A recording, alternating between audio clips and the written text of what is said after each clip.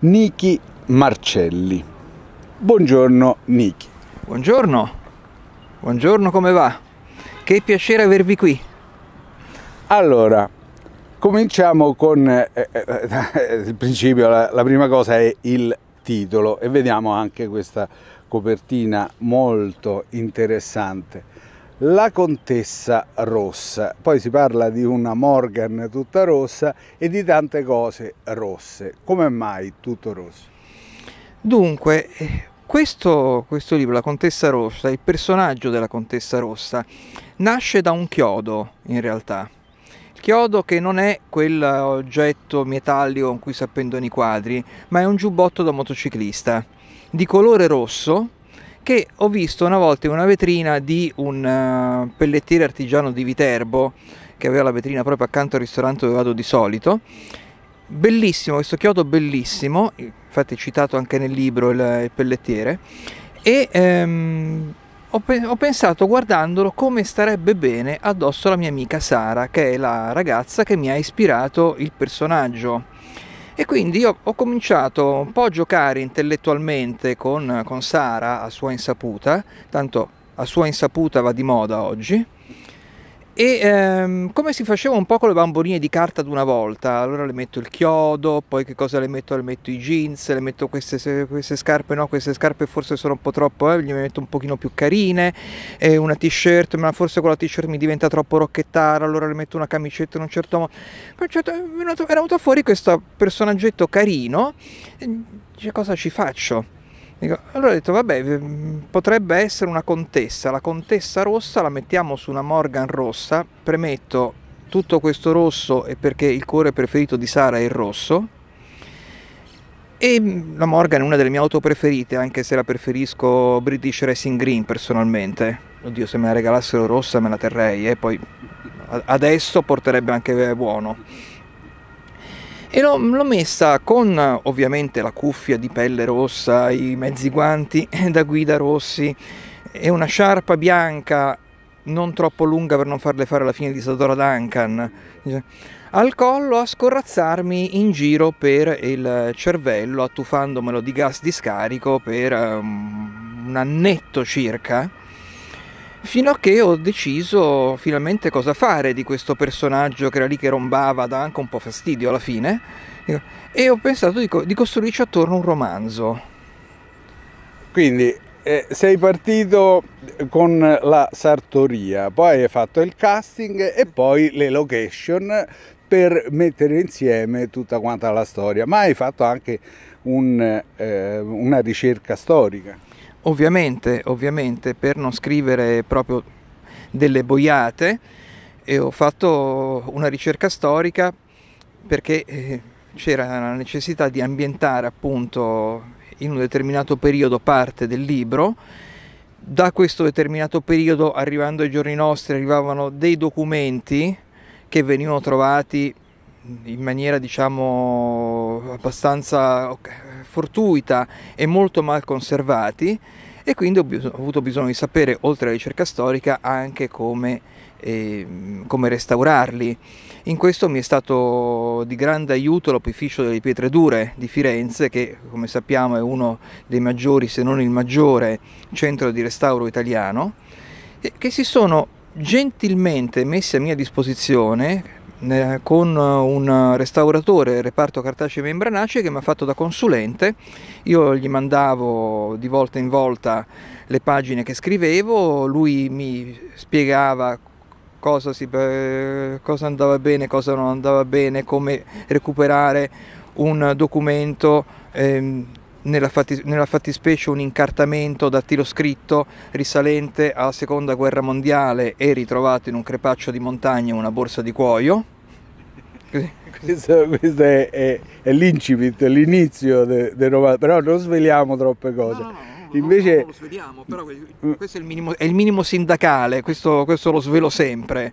E, ehm, e allora Grazie a loro, almeno per quanto riguarda conservazione e recupero di un documento di quella fatta in quelle condizioni, non ho scritto boiate, sul resto del libro non garantisco, ma No, la credibilità c'è, insomma, voglio dire, la ricerca sia storica che scientifica mi sembra più che eh, adeguata, ma la cosa divertente è proprio, eh, almeno io leggendo solamente le prime pagine, ho percepito proprio il gusto, il godimento che tu hai provato nel costruire pezzo pezzo tutto quanto, mettendo insieme eh, eh, non solo scenografia, costumi, ma anche eh, sensazioni, impressioni e anche risentimenti. Beh, eh, si diceva donne, motori, gioie e dolori, qui ci sono le donne perché poi le protagoniste sono due, c'è anche Anna detta Care, tra l'altro anche lei ispirata a una mia carissima amica, e, um, e ci sono i motori perché c'è la Morgan, ma fuori di battuta i libri sono gioia e dolore, peggio, mi sono anche divertito, è vero, però ho sofferto come un cane in certi momenti perché non, non mi arrivava l'ispirazione, non, non riuscivo a, a, far combaciare delle cose, non trovavo la giusta via. È stato, è stato quasi un parto, infatti lo considero un figlio oramai questo libro. Vabbè, anche questo diciamo, fa parte, questa sofferenza fa parte poi di, di questo momento creativo. Io sono curioso adesso di sapere da te come è nata in te, quando Niki era bambino, il desiderio e la passione proprio per la letteratura. Vabbè, a parte il fatto che da questo punto di vista sono abbastanza figlio d'arte, perché mio padre era giornalista e scrittore a sua volta. Io ho vissuto da sempre in mezzo ai libri, prima rompendoli quando ero proprio piccolo piccolo. Anche alcuni mm, che, mio padre credo non me l'abbia perdonata per tutta la vita eh, alcuni, alcuni incunaboli che è meglio lasciar perdere. E poi apprezzandoli, cominciando a leggere, diventando innanzitutto un voracissimo lettore. E poi devo dire che da, fin da, da, piccolissimo, perché mio padre mi regalò la, la, prima macchina da scrivere che conservo ancora quando avevo 8 anni, fu il mio regalo di Natale, ho sempre tentato di raccontare delle storie. Poi chiaramente crescendo ci sono riuscito forse un po' meglio rispetto all'epoca, credo, spero, me lo auguro. Eh, voglio dire, si spera, crescendo bisognerebbe migliorare. Poi da una certa età in poi si può peggiorare poco, però insomma all'inizio. Senti, eh, un, un, altro aspetto, allora sono quasi 300 pagine, quindi è bello 290 no, e qualcosa. Perché tu, perché tu hai il manoscritto. Adesso sì, il manoscritto forse questo, questo, questo è diverso. Libro che adesso ti ho regalato, vedi c'è anche la dedica Dico, ne, ne, conta perché è un pochino più piccolo come, dim, come dimensione di pagina, non è formato a 4. 362. 362, no, poi siamo sui ringraziamenti. Sono, ah, sono 354 di, eh, di, di, di, lettura pura, diciamo. Appunto, voglio dire, quindi non è, non è proprio una cosa velocissima, ci vuole un po' di tempo. Ma nella prefazione si dice che è un libro che va letto tutto d'un fiato. Devo dire, io non dovrei essere io a dire queste cose perché insomma ogni scarafone beh, lo mamma soia, si sa, tutte queste...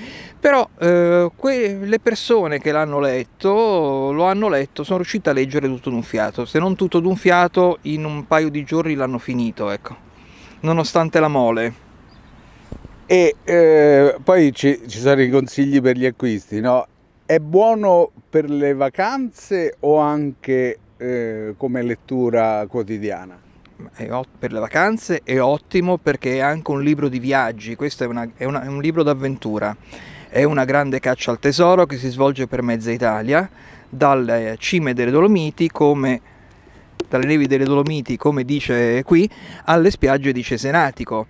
E proprio a Cesenatico è ambientata la, tutta la seconda parte del libro nei sotterranei di un'antica colonia diventata adesso un Grand Hotel di lusso, che esiste veramente, è il Grand Hotel da Vinci di Cesenatico, e, ehm, e ha veramente sotto le sue fondamenta tutti i segreti o buona parte dei segreti che racconto qua dentro. Ma sono tutti quanti posti che tu hai visitato e che conosci, quelli di cui parli? Assolutamente sì, assolutamente sì. Tranne magari l'Istituto di Medicina Legale di Bolzano? No, perché ehm, però conosco l'Istituto di Medicina Legale di Roma. Ah, ecco. Mi ci sono anche perso una volta perché ero andato a chiedere una consulenza al professor Cipolloni riguardo alle autopsie e ehm, mi ha portato a visitare tutte le sale rimesse a posto che stavano pre- preparando per il giubileo. Allora faccio una premessa per chi è di Roma.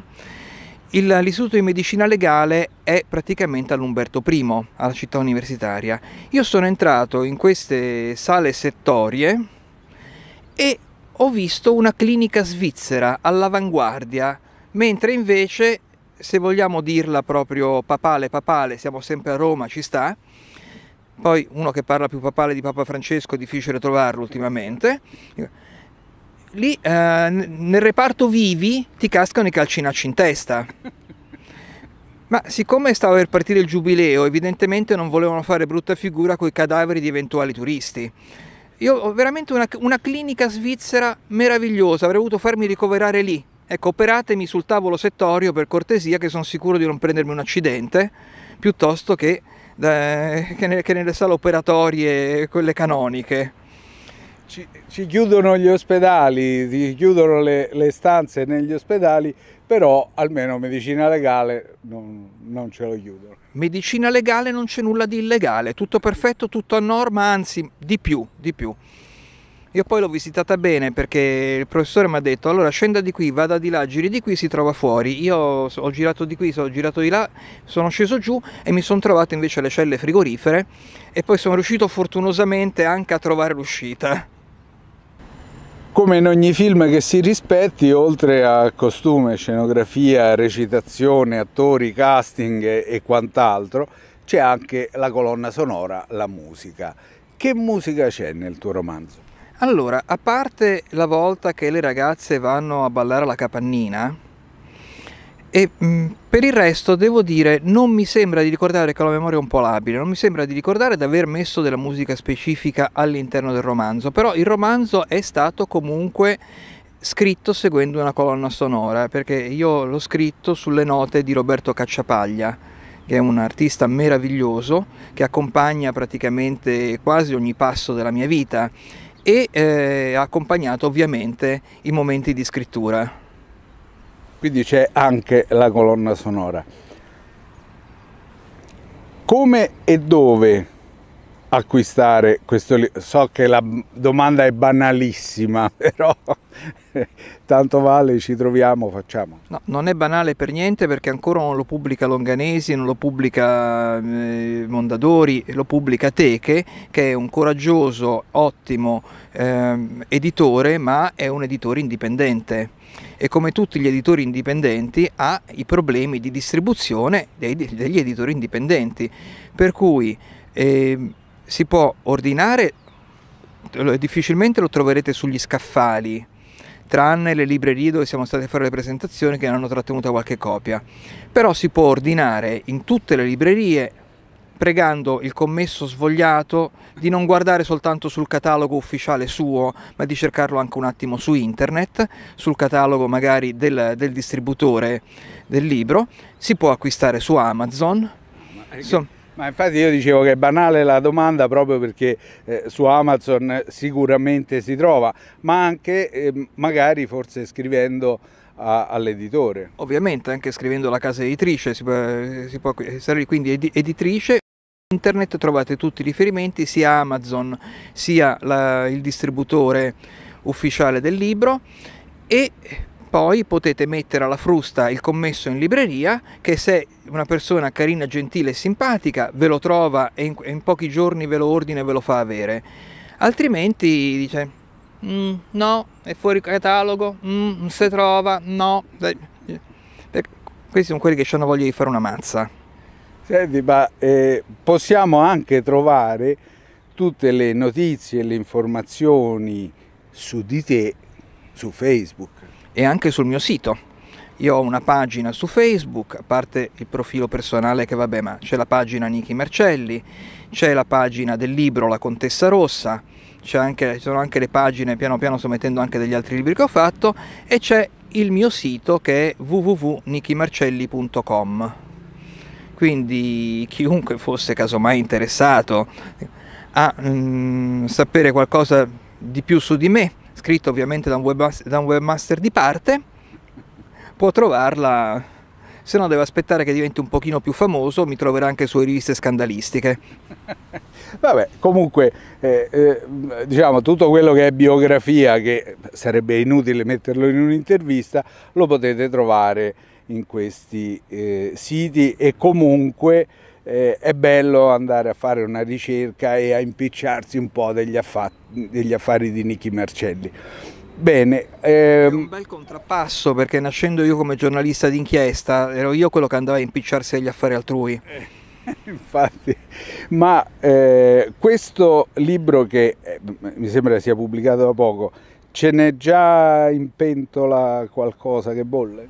Sì, sto scrivendo la seconda avventura della Contessa Rossa, di Sara e di Care, le protagoniste del libro. E avrei in mente e in animo è in progetto vago una quadrilogia, però intanto vediamo se riesco a finire il secondo, che si sta rivelando più impegnativo del primo. ma a parte la sofferenza e, e, e, le difficoltà nel mettere insieme eh, un romanzo, quando il romanzo è finito e dici basta, adesso lo do alle stampe, com'è la soddisfazione? La soddisfazione è grande quando lo vedi finalmente stampato, quando lo vedi così. Quando hai stampato il manoscritto, te lo sei rivisto 200 volte e poi l'editor trova delle, degli altri orrori di, di stampa e, e, sviste che ti erano sfuggite perché alla terza volta che lo, che lo, leggi chiaramente non lo vedi più, anche se cerchi in tutti i modi di, di, di guardare riga per riga, ma finalmente poi lo consegni all'editore, la domanda il grosso punto interrogativo, grosso veramente come una casa, è sempre quello. Oddio, avrò scritto una boiata? Vabbè, però a quel punto ci sono gli amici che ti possono confortare o consigliare. Sì, però ecco, già il fatto che l'editore dia il si stampi vuol dire che non è tanto male. Poi ho visto che sta avendo un discreto successo, nonostante le difficoltà di distribuzione e tutte le difficoltà appunto di essere un piccolo editore, te che si sta dando un grande affare, sta uscendo, devo dire stanno uscendo un sacco di recensioni, non mi è ancora uscita una recensione negativa, sto, sono preoccupato. A parte le recensioni alle quali io diciamo do sempre un, un eh beneficio di inventario, ma il pubblico, proprio quelli che leggono il libro e che poi ti vengono a dire ah sai, eh, come reagisce? Io sono imbarazzato a dirlo, ma il pubblico è entusiasta. Quelli che comprano il libro sono tutti felici e contenti. Sono tutti a chiedermi quando il prossimo, quando il prossimo. E ci sto lavorando. Abbiate pazienza, arriverà. Bene, allora io ti ringrazio della partecipazione ai nostri programmi. grazie a voi. Il, l'in bocca al lupo è eh, indispensabile, ma non si può rispondere crepi. E allora viva il lupo. Perfetto. Poi di questi tempi crepi il lupo mi si scatena contro la chiunque. Allora, grazie e ci vediamo all'uscita del prossimo. Grazie a voi.